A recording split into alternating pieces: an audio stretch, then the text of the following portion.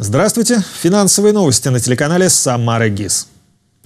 Госдума во втором чтении приняла законопроект об амнистии капиталов. Проект закона о добровольном декларировании физическими лицами имущества и счетов в банках предполагает амнистию зарубежных капиталов, задекларированных россиянами.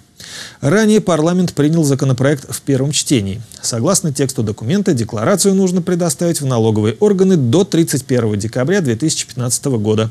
Указанные в декларации активы не будут облагаться единовременными налогами и сборами. Интересно, сколько подпольных миллионеров сольют свои офшорные счета? Бизнес отказывается от займов из-за высоких ставок. Объем займов, выданных малым и средним предприятиям, за первый квартал 2015 года в сравнении с прошлым годом снизился на треть, а просрочка по ним наоборот растет. Эксперты говорят, что мы еще долго будем пожинать плоды черного вторника, когда Центробанк поднял базовую ставку до 17%.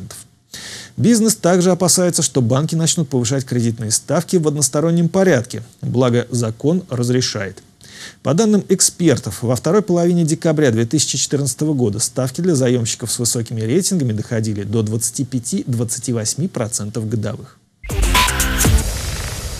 Власти Дубая расширили меры, направленные на соблюдение дресс-кода туристами и приезжими в общественных местах.